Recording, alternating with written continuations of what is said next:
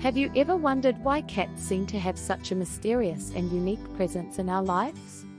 Today, we're diving into the intriguing topic of the mysterious reason behind the existence of cats. Cats are enigmatic creatures, captivating us with their grace, independence, and charm. But why do they hold such a special place in human society? To uncover this mystery, we need to explore the history and evolution of cats. Cats were first domesticated around 9,000 years ago in the Near East.